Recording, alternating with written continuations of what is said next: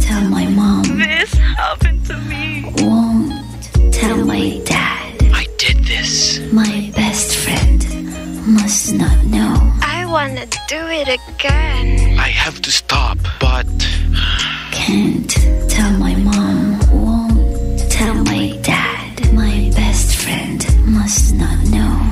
This is my story. Hot story. Can't tell them. But you can tell Kara. Tell Kara. Call her. Tell her. Talk to her. Tell her. Tell Kara your hot stories.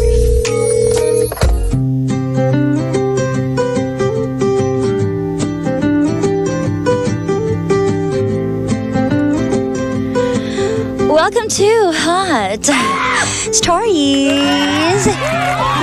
Alas po natin. 12.25 in the afternoon. It's lunchtime, kaya naman, I hope lahat sa inyo ay kumakain na sa mga oras na ito. At para dun sa mga hindi pa kumakain at mamaya pa kakain, sana unahin mo na yung sarili mo ngayon. Huwag mo nang ipagsamamaya pa. Kasi kakamamaya mo, nalipasan ka na ng gutom. Sayang naman, di ba? Lagi ko naman to sinasabi, alagaan mo kasi sarili mo.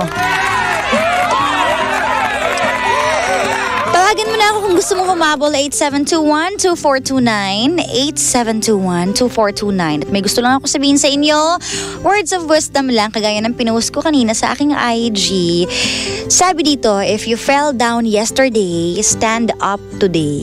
Yan yung post ko. Binasa ko lang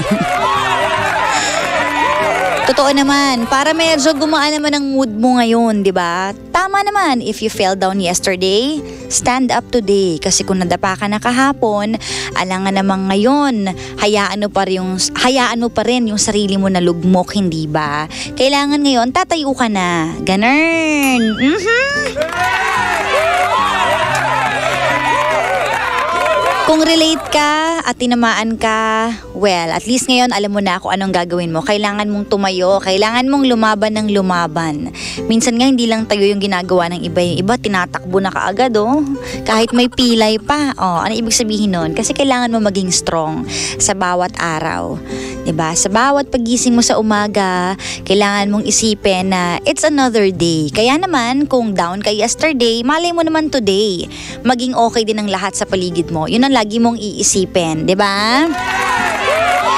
And we're live. Live na live na nga po tayo ngayon. So hanapin mo na sa Facebook ang Energy FM 106.7 o kaya naman ang aking fan page na DJ Kara. That's DJ Space K-A-R-A at i-like and share mo na ng bonggang-bongga. Ayan. Happy to see you smile daw. Aw, thank you. Kayo din. I'm happy kung ngayon, di ko man kayo nakikita. I'm happy kung medyo gumaan ang kalooban mo ngayon. Kung medyo naging positive ka, dapat wag lang medyo. Kailangan maging positive ka talaga today. Kasi that's life eh. May ups and downs. And hindi mo na talaga maaalis yung down moments. Laging andyan yan. Sumisingit-singit yan sa kung saan eh. Minsan nga, kung kailan sobrang saya natin, aminin natin, minsan yung mga moment na sobra-sobrang happiness, di ba kaya sinasabi ng iba, eh, wag ka masyadong masaya kasi baka may mangyari. Doon sumisingit minsan yung mga problema. After nung kaligayahan mo, aba maya-maya may problema ka na agad, may naniningil ng utang. Paano ba to? Paano ka ba magtatago? Eh, hindi, joke lang. Siyempre, wag kang magtatago kapag may utang ka, di ba? Kailangan harapin mo. Kasi hinarap ka rin niya ng mga moment na inutangan mo siya. Ba't naman napunta na sa utang yung ano, topic? Ano ba yun? Hindi. Na- naisingit ko lang naman, oo, di ba? Kaya I'm happy for you. Kung hindi man kita nakikita ngayon ay nakasmile ka. That's good. Kung nasa kama ka pa rin sa mga oras na ito, tanghali na te. Ano na? tanghali na. Kung wala ka man lakad, be productive. Kung kanina, ang sinabi ko, ano, fruitful, be fruitful. Ngayon naman, be productive ngayong araw na ito. Kasi nga, time is running so fast na hindi mo na namamalayan. Baka wala ka na palang nagawa or napag-iwanan ka na. Aww. So, dapat maging productive. Ay, beautiful. Madami naman kayong ano, Sobra naman yung mga papuri nyo sa akin ngayon. Puro hi beautiful, hi ganda, hi pretty. well, thank you so much. Is it because of my blazer? May PTE meeting kasi tayo ngayon. Hindi, o naisipan ko lang, 'di ba? Kasi first day of work, medyo ang ang peg natin ngayon ay formal-formalan. Ay, pero di nyo alam kung anong pang ibaba ko. Mamaya, sa TikTok kung malalaman nyo yan. O, ba? Diba? Sabi dito, this week is a special week. For me, it's my uh, first anniversary. At sa lahat din pala nagsa-celebrate ngayon ng mga anniversary, monthsary, friendsary, paasasary. Ano yung paasasary? Kasi today, ito yung date na pinaasa kanya. Ah, 'di ba? Na, ghost sari, yung na-ghosting dyan ngayong araw na ito. Naalala mo pala, it's one eh. One na ganapan lahat. So ngayong one na to, first month sa rin yun na yun ng, ng ghost sa'yo. Ghost sari. o kaya paasa sari. Ano daw? Anong paasa sari? Sinasabi mo dyan, Kara. Ano pa yung mga sari ngayon? Sari-sari. Mag-isip pa kayo ng sari. Anong sari ang pwedeng i-celebrate ngayon? I-comment down nyo na yan, ha? Uy, marami ha, yung mga nag... Paano kung one, no? Halimbawa, anniversary nyo ng one or monthsary nyo ng one. So, pag sumapit sa ano, November 1, parang horror. Horror Magiging horror yung moment nyo together, ganon? Bakit? ba? Ay ganoon talaga eh, doon nabuo eh. Minsan naman doon nabubuo talaga sa takutan, ba? Parang nag-aano lang, ay ayoko matakot ngayon tanghali. Teka lang, change topic. Hindi kasi marami talaga nabubuo sa kung anik-anik na mga sitwasyon. Aminin natin yan. So kung meron mga nag-celebrate ngayon na one, oh, good luck sa inyo ha. More to come. Oh, may mga birthday din daw ngayon. Kumusta naman ang celebration niyo ngayong araw na ito? I hope everyone is fine, everyone is okay. Oh, watching from Tondo, Manila. Hello from Tondo. Hello. And from ano, ay birthday ni Lindsay pala. Oh, yung naalala ko. Oh. Birthday niya pala, may nag-comment. Ito naman daw, Exari. Oh, bakit isi-celebrate niyo pa yung ano? Huwag mo nang alalahanin yung ano, exary. Kung halimbawa ngayong araw na ito, binray ka niya, ano ba, one, Feb, Feb kanya, Feb 1 kanya binray ka, tapos ngayon March 1, one month ka na niyang iniwan. Kalimutan mo na yun, di ba? Kasi pagpasalamat mo na lang na baka kaya nangyari yon kasi may dahilan ang mga bagay-bagay. Kumbaga, ngayon pa lang yung start ng paglalakbay mo papunta doon sa tamang tao para sa'yo. Oho, ganun. Oh, happy daw dahil live ako. Thank you so much. Bukas live pa rin naman ulit ako and everyday. Ay, ito meron pang sari. O sige, comment ko lang lahat ng sari nyo ha. Pregnant sari. Ha? So ngayon yung ano, nalaman nyo na preggy kayo, ganun? Pregnant sari. Totoo. o sige na, pagbigyan na natin yan. Pregnant sari, sige ba? Oh, ano pang klaseng sari? Friend sari. Single sari. Eh kung lagi ka namang single, wag mo na i-celebrate yun. Friend sari. Dahil ngayong ano na to, one na to ay naganap na nagkaroon ka ng kaibigan. Alam mo, kapag nagkaroon ka ng kaibigan, treasure yan. Kasi minsan, ako naranasan ko na yung, halimbawa, sad ka ha. Tapos maghahanap ka ng mga friends mo. Pupunta ka sa contacts alam mo yung ganong level, kapag konti lang yung kaibigan mo, magsuscroll ka, sin sino man pwede kong ayain? Sino man mga kaibigan ko isa-isa? Kasi pag bilang lang sa daliri yung mga kaibigan mo, ang hirap din talaga pala mag-aya, no? Na-experience ko yan. Ikaw na-experience mo ba? Kasi ako, ano, okay lang sa akin na kaunti yung kaibigan, basta totoo lahat. Kasi iba yung ano eh, iba yung kaibig-kaibigan lang na nakakatawanan mo, katsikahan, iba yun eh. Katsukaran lang ang tawag yata doon. ba? Iba yung kaibigan mo talaga na pinagtitiwala mo yung buong puso mo at alam mo hindi ka sisirain, hindi ka ibabak ano, backstab or alam mong andyan for you kahit di kayo nagkikita or nag-uusap, mararamdaman mo naman yun sa puso mo. So, ayun na nga, na-share ko lang naman, na-experience ko yung ganyan, yung mag-iisip ka ngayong araw na ito, teka, gusto kong lumabas or gusto kong mag-release ng ano, ng something, kung ano man yung gusto kong i-release. ba diba?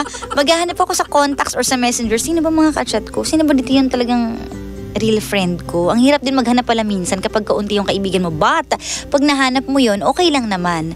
'di ba At saka kung minsan wala ka mang maaya, eh, ganun talaga. Minsan, hindi sila available. So, ang gawin mo na lang, ano na lang, magdasal ka na lang na sana po this day, medyo gumaan yung pakaramdam ko. Wala man ako makausap na kaibigan or wala man ako mapaghingahan ng sama ng loob ko. Eh, da- ilalabas ko na lang through prayers lahat. And bigyan niyo po ako ng ano, ng something na pwede kong magawa today. Yung outlet baga, ganon. Yung outlet na kahit paano ay gagaan yung pakaramdam mo. Ganun. O ito pa ang sari na matatawag. Nagkaka-banding na tayo ng host dito ha, sa sari ha. Ano ba naman to? O, utang sari. Dahil today naalala mo na one year na pala siyang hindi nagbabayad. One siya ng utang sa'yo. It's been a long time, di ka nagbabayad. Sabi mo sa akin ay next month na ito. Pero bakit lumipas ang sang taon? Ah! Nakapag-compose ka ng kanta, oh. One year na, sige, anniversary ng mga may utang, utang sari, o meron pa daw sin sari. Lagi ka nalang sinisin, wag mo nang bilangin yon. Ganun talaga, wag mo na asahan na magre-reply pa siya. Love sari daw. Ngayon ay nalaman mong nagmamahal ka na pala. Oh. La la la. O ano pa, dali, lahat ng sari. Naubos na natin lahat ng sari. Uubusin natin yan. Oo. Ano pang klaseng sari? Oy, hello sa mga taga Taytay and Aklan. Alam nyo, ang dami ngayon nakikita ko sa ano ah, sa Instagram and sa Facebook na mga nagpupunta ng Aklan ng Boracay. Oo, ang dami. 'Di ba? Ako namimiss ko na rin magpunta sa, taga dyan kasi kami by the way. Namimiss ko na rin magpunta dyan. Pero gusto kong sulitin yung, ayokong mag ano eh, yung dadaan ka sa quarantine, swab. Gusto ko yung pag normal na ang lahat sa kanalang ko pupunta para hindi matusok yung ilong ko. Yun talaga yun. Dahil takot ako matusok yung ilong ko. Kaya hindi ako maglalabas. para huwag ako matusok ng ilong. Kasi gano'n naman talaga, di ba? May mga taong matatakutin. Konting turukin lang. Mababa kasi yung tolerance ko sa pain. Ewan ko ba, mababa nga ba? Parang mataas yata. Baka kasi emotional. Oo, mataas. Parang kahit mabilis ako masaktan, ka, ka- kinakaya ko. Pero pag sa tusok ng ilong, ba't ang hina ng tolerance ko sa pain doon, no? Sa mga ganung bagay. O fansary daw. Oy, oo, totoo yan. Yung mga nag-celebrate ng mga group dyan. Yung mga nag-celebrate na anniversary, monthsary ng group nila, mga fans club.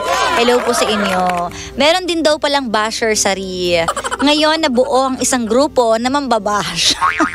'Di ba Paano kung gano'n, no? Gumawa kayo ng grupo para lang mambash. O, basher sari, bashari.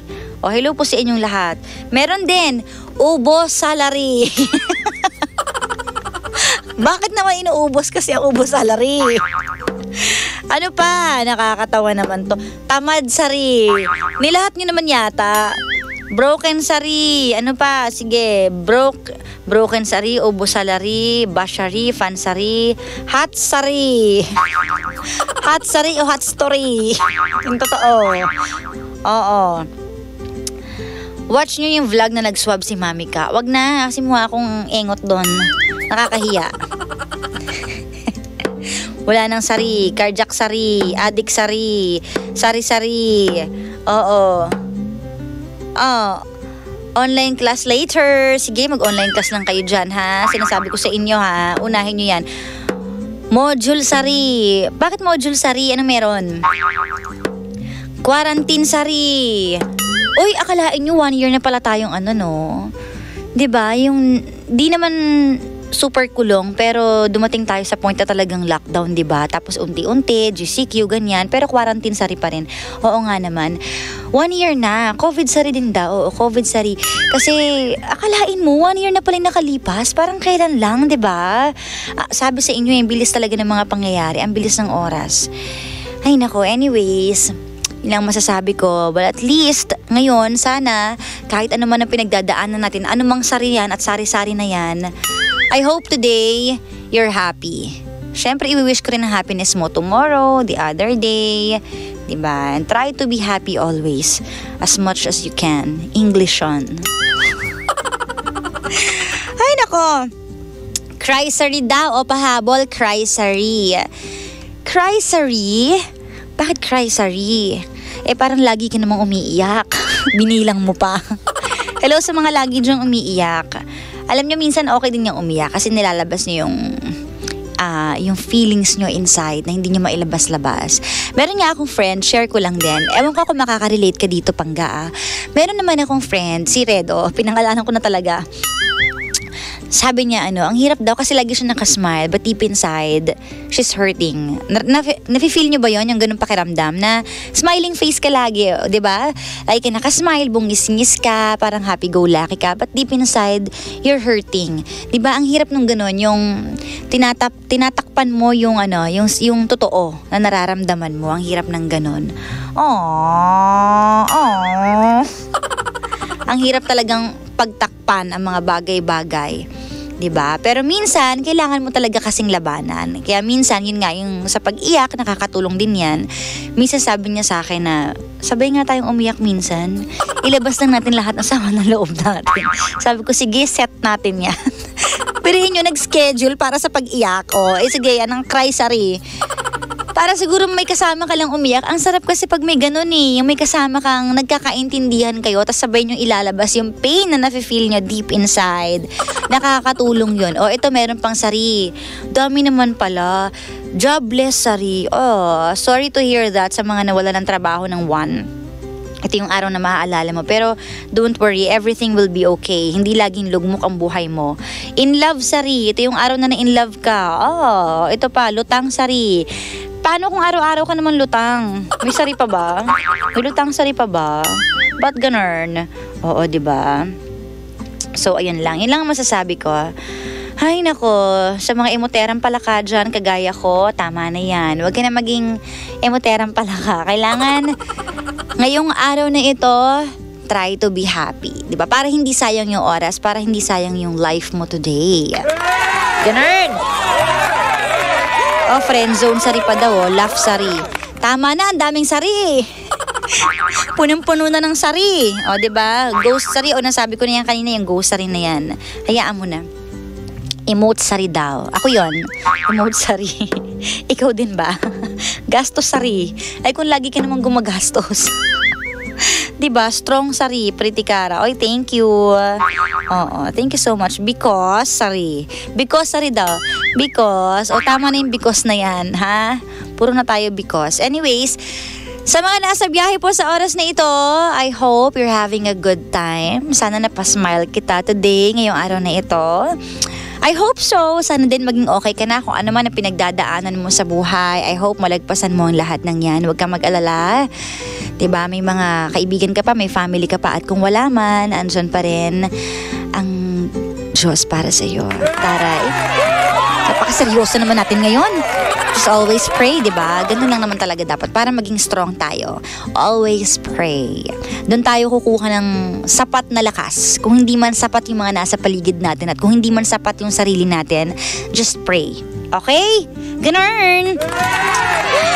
Ay mga pangga, it's another day ang natapos. May bukas pa naman at mga susunod na araw so huwag ka mag-alala. Lagi naman tayo magkakasama. Don't forget to follow me on all my social media accounts sa Instagram, Gandang Kara, sa YouTube, Gandang Kara, sa Facebook, DJ Kara, DJ Space, K-A-R-A, sa TikTok, at Gandang Kara Official at sa Laika, Gandang Kara din. Thank you so much and of course ang Energy FM 106.7 sa YouTube and on Facebook. Thank you so much for staying with me. Muli ako po nag-iisang chicks ng radyo. Dito lang syempre sa number 1, 06.7 Energy FM. Bangga, huwag mo sabihin radyo, sabihin mo.